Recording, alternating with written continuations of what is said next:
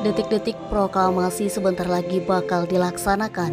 Paskibraka Provinsi Sumsel pun telah dipersiapkan untuk menjadi anggota yang bertugas mengiringi dan membawa pusaka merah putih sampai naik ke puncak tiang bendera di Geria Agung Palembang pada 17 Agustus mendatang.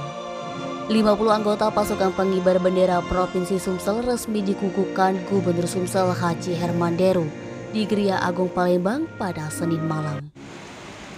Herman Deru berpesan kepada seluruh anggota Paskibraka yang dikukuhkan dapat memberikan yang terbaik. Selain itu, Deru juga mengingatkan agar menjaga kesehatan selama bertugas. Tuhan yang Maha Esa memberikan rahmat dan kemudahan dalam tugas negara.